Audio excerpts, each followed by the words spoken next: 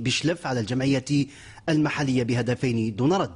كما حافظ كل من شبيبة بجاية واتحاد البليدة على مركز الوصافة بمجموع 23 نقطة فيما تعقدت وضعية وداد بوفريك في مؤخرة الترتيب بعدما انهزم بميدانه أمام اتحاد بسكرة.